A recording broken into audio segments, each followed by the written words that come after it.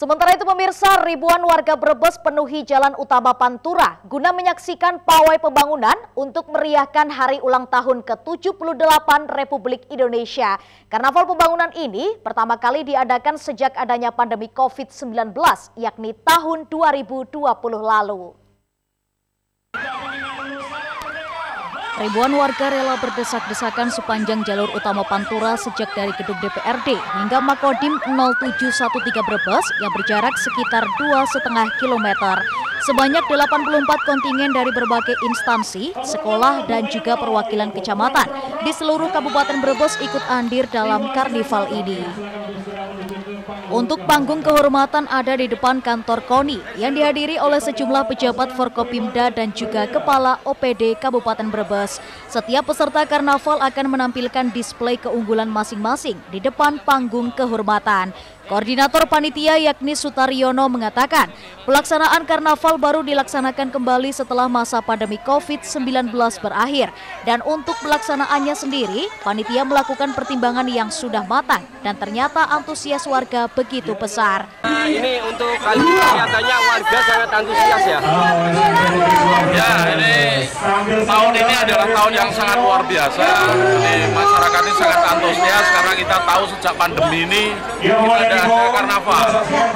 Semula memang dari pertimbangannya apakah tahun ini ada karnaval atau tidak, tapi kenyataannya ini keinginan masyarakat sungguh luar biasa. Kita lihat di sana dengan peserta Sementara panitia karnaval yakni Wijanarto menyampaikan, untuk karnaval tahun ini ada 84 kontingen peserta.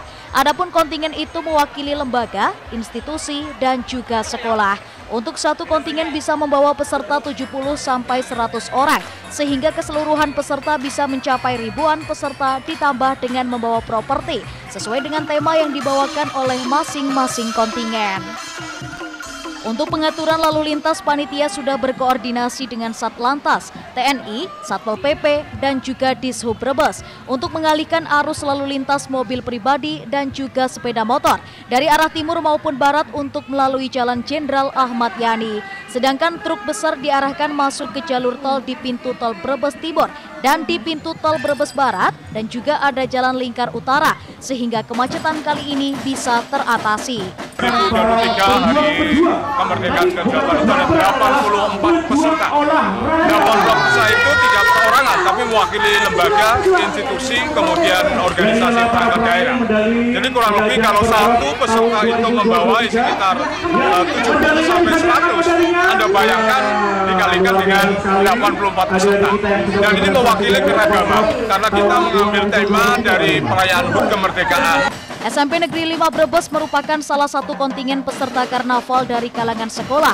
Sangat antusias untuk mengikuti dan juga meramaikan karnaval dengan menampilkan pasukan pengibar bendera, drum band, pakaian budaya karnival, dan rombongan penari massal. Negeri 5 Brebes menampilkan berbagai macam rangkaian mulai dari depan sampai belakang. Yang pertama adalah ada pasukan paskibraka, iya.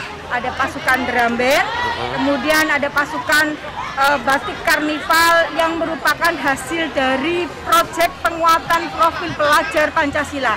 Anak-anak sendiri yang membuat. Oh, kali anak sendiri ya? Betul sekali, anak-anak sendiri yang membuat. Kemudian ada sejumlah 70 di belakang itu pasukan tari. Agus Pramono, Semarang TV.